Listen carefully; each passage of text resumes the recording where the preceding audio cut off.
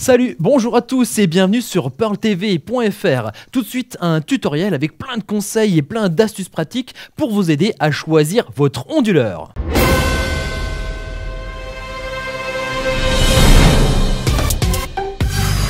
Tout d'abord, un onduleur c'est quoi?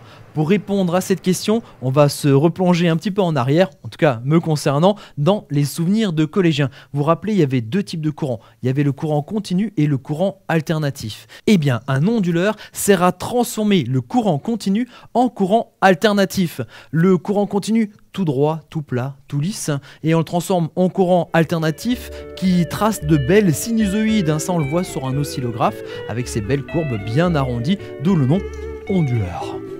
Alors ça, c'est une fonction très pratique, notamment si vous voulez exploiter l'électricité produite, hein, l'électricité en courant continu qui est produite par vos panneaux solaires.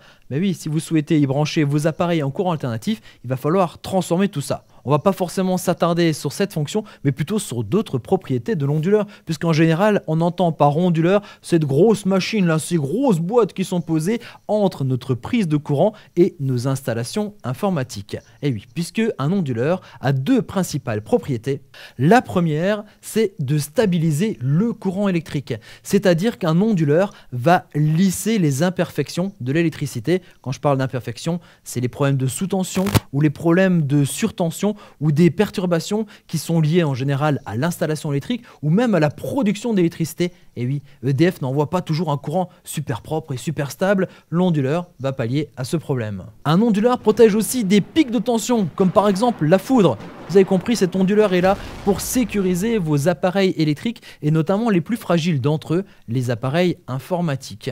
Les petites variations, les imperfections, les perturbations vont empêcher le fonctionnement normal de vos appareils et vont même les user prématurément. Quant à la foudre, généralement, elle règle définitivement le problème en détruisant tout votre matériel. Deuxième fonction, l'onduleur va permettre de compenser et de rattraper une coupure de courant. Quand il n'y a plus d'alimentation au niveau de votre prise secteur, l'onduleur va basculer sur ses batteries en interne. C'est d'ailleurs pour ça que souvent les onduleurs sont très très lourds. Il y a de très très grosses batteries à l'intérieur qui vont permettre d'alimenter un certain nombre d'appareils pendant un certain temps. Et c'est ce certain nombre et ce certain temps qu'on va voir plus en détail ensemble puisque c'est finalement ce qui va déterminer le choix de votre onduleur. Comment choisir le modèle adapté à mes besoins That is the questions. Eh oui, parce que la question, c'est quoi mes besoins? Vous allez vite vous rendre compte qu'il existe une multitude de modèles. Là, j'en ai bah, qu'un petit échantillon avec des prix et des capacités très différentes. Alors, pour mettre en sécurité vos installations, voici nos premiers conseils. Première chose, c'est de déterminer, de choisir quels sont les appareils et quelles sont les installations à protéger. Et déjà, ça, ça commence, c'est pas si facile que ça, puisque vos besoins peuvent être très différents, que vous soyez bah, tranquillement à la maison avec un simple ordinateur à protéger, ou que vous soyez un professionnel avec une installation beaucoup plus complexe. Alors évidemment, cette vidéo s'adresse au cas le plus fréquent, c'est-à-dire un simple ordinateur à la maison. La première chose à savoir, c'est que peu importe le choix que vous ferez, l'installation de cet onduleur va vous protéger finalement d'une coupure de courant pendant un temps très très limité. Finalement, l'onduleur est juste là pour prendre le relais électrique le temps que vous enregistriez votre travail et que vous éteigniez correctement, proprement votre ordinateur. Si vous voulez avoir plus d'autonomie, avoir une demi-heure, trois quarts d'heure, une heure, voire plusieurs heures d'autonomie avec des batteries, là on va passer sur du matériel beaucoup plus complexe, beaucoup plus coûteux, avec des batteries complémentaires. Mais là très franchement, on est sur des systèmes déjà plus complexes, plus élaborés, qui sont souvent réservés aux professionnels dont l'activité économique dépend à 100% de l'électricité, ou encore peut-être un autre cas, dès qu'il s'agit de matériel médical, hein, quand une vie en dépend. Chez vous, vous, à la maison, pour protéger votre installation, vous avez besoin de quoi? Eh bien de protéger votre tour d'ordinateur, votre desktop, hein, et puis l'écran pour pouvoir y voir quelque chose, et puis eh ben, eh ben c'est tout, puisque finalement, vous avez besoin que de ça pour pouvoir éteindre votre ordinateur. Et c'est maintenant que vous devez aller chercher votre calculette. Et eh oui, car pour choisir l'onduleur idéal, il faut connaître votre besoin en volt-ampères. Les volts-ampères, symbole VA. C'est l'unité de mesure utilisée par les fabricants d'onduleurs. Pour connaître vos besoins en volt-ampères, vous allez devoir additionner les puissances des différents appareils et les différents périphériques que vous voulez protéger avec votre onduleur. Cette puissance-là, elle est exprimée en watts. Donc soit vous avez encore les notices des appareils, et là vous allez nouveau les lire vite fait et vous allez voir qu'il y a toujours la puissance en watts, ou alors vous avez de la chance, vous avez un autocollant derrière votre appareil qui précise la consommation en watts, ou alors pas de bol, on va déjà devoir faire les premiers calculs pour calculer les watts lorsqu'il n'y a que l'intensité qui est précisée sur un appareil. Voici la formule. Pour connaître la puissance, on va d'abord chercher l'intensité. L'intensité est exprimée en ampères. Ça, vous le retrouvez sur les transformateurs. C'est les ampères, c'est le A ou milliampères ou des choses comme ça. On va prendre ces ampères et on va les multiplier à la tension. La tension est exprimée en volts. Celle-là, vous la connaissez, c'est du 220 volts en général, c'est ce que vous avez chez vous. Et donc, en multipliant ces deux, ces valeurs, on arrive à trouver la puissance. Par exemple, si j'ai un écran, un écran qui a une intensité de 3 ampères, il y a un transformateur qui lui est à 19 volts, donc c'est 3 ampères multipliés par 19 volts, on obtient 57 watts. Alors, ce qu'il faut savoir, hein, que vous puissiez être dans, les bonnes valeurs, c'est qu'un ordinateur de bureau assez classique atteint rapidement les 120 watts. Par contre, un PC de gamer dépasse souvent les 400 watts.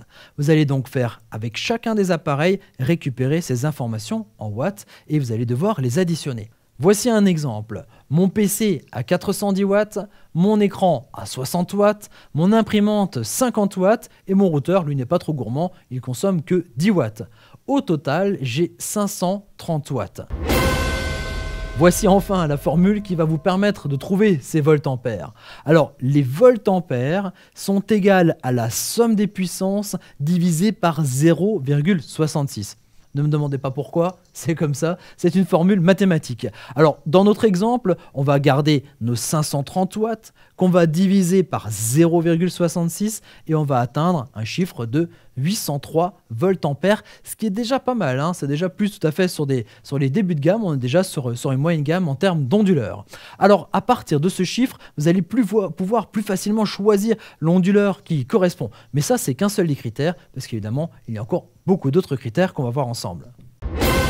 Toujours pour vous aider à choisir l'onduleur qui correspond le mieux à vos besoins, vous avez peut-être déjà remarqué hein, que quand en consultant des, fiches d'articles, qu'il y avait trois types différents d'onduleurs. Eh oui, il y a les onduleurs offline, les onduleurs line interactive et les onduleurs online.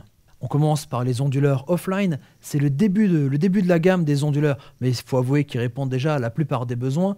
Un onduleur offline va pouvoir prendre le relais en cas d'une coupure électrique, pendant quelques minutes. La plupart du temps, ils vont nettoyer le signal électrique de quelques perturbations. La plupart du temps, ils sont équipés d'un système de protection contre la foudre. C'est vrai, ils répondent à la plupart des besoins, notamment pour du matériel moyennement sensible. Ensuite, il y a les onduleurs line interactive. Là, on monte en gamme. Ce qui va changer surtout, c'est le lissage, en fait, le nettoyage hein, du courant électrique en compensant les baisses de tension et les problèmes de surtension. Mais il y a aussi et surtout la vitesse de basculement vers l'alimentation de la batterie en cas de coupure de courant. Alors, ça s'adresse à du matériel un peu plus sensible, par exemple pour des disques NAS ou des ordinateurs déjà assez performants. Et on termine avec les onduleurs online. L'onduleur online, là on est sur, du très haut de gamme et assez curieusement, c'est pas le plus compliqué à expliquer puisque dans l'onduleur online, c'est la batterie qui va alimenter en permanence tous les périphériques et tous les appareils qui y sont branchés. Alors il y a quoi comme avantage C'est déjà que le courant électrique, du coup, est très net, très propre, pas de variation d'intensité, pas de variation au niveau de la tension, très peu de parasites, hein, on est vraiment sur du top. Mais surtout, il n'y a pas de temps de basculement. Vous savez, ce temps de basculement pour passer de, l'énergie, et finalement l'électricité secteur, à l'énergie batterie, là, on est tout le temps sur la batterie, donc pas de problème. C'est pour ça que c'est souvent utilisé pour le matériel et les appareils les plus sensibles qui ne supportent pas la moindre petite variation et la moindre coupure de courant. Autre particularité de ce matériel haut de gamme, étant donné que la batterie est toujours sollicitée, elle s'use forcément plus rapidement. Et vu qu'elle chauffe beaucoup plus, elle a besoin d'être ventilée. Il y a souvent des petits ventilateurs hein, derrière qui soufflent en permanence. Donc du coup, ça génère du bruit. C'est pour ça que généralement, ce matériel, on le trouve dans une baie de brassage ou dans une grande salle climatisée et très rarement dans son bureau. On en sait maintenant plus sur la puissance idéale, sur le type d'onduleur idéal. Je vous propose maintenant de voir des options plus sympas, notamment le nombre de prises disponibles sur un onduleur. Alors, le nombre de prises dépend forcément de la capacité de l'onduleur. Ça, c'est plutôt normal. hein. Alors, certaines prises ont parfois des fonctions spéciales. Certaines sont adaptées au CPL, le courant porteur en ligne. D'autres ont des fonctions maître-esclave. Quant au type de prise, vous avez vu, il existe soit des prises françaises avec forcément une prise terre. Et là, un point très important, hein, branchez toujours votre onduleur à une prise de terre. C'est ça qui protège votre installation et vous de la foudre. Mais il y a aussi souvent des prises d'un autre type, c'est le type IEC 320 C13. Ça vous dit pas grand chose, mais si je vous dis que les prises ressemblent à une maison avec un petit toit et trois fenêtres, ou si on les met de l'autre côté, elles ressemblent à un mignon petit chat. Donc pas de panique, hein, si vous êtes face à des prises comme ça, sachez qu'il existe une multitude de convertisseurs qui vous permettront de brancher quand même vos appareils. Certains onduleurs disposent aussi de prises RJ11 pour protéger votre téléphone ou de RJ45 pour protéger votre box. Sur certains modèles, il existe aussi des interfaces d'administration via votre ordinateur et parfois même en ligne qui permettent de régler de nombreux paramètres comme par exemple l'extinction programmée en cas de coupure prolongée, une option pratique lorsque l'on n'est pas forcément à côté de son système. Voilà, j'espère que vous en savez plus maintenant sur les onduleurs et que vous avez toutes les cartes en main maintenant pour choisir le modèle qui correspond le mieux à vos besoins. Alors, un tout dernier point quand même, c'est qu'il faut savoir que les onduleurs ne sont pas éternels. Euh, Généralement, il va falloir changer la batterie à l'intérieur tous les 3 à 5 ans pour que la protection reste la plus efficace et la plus optimale possible. Alors moi, je vous dis à très bientôt pour de nouveaux tutos sur pearltv.fr. À bientôt.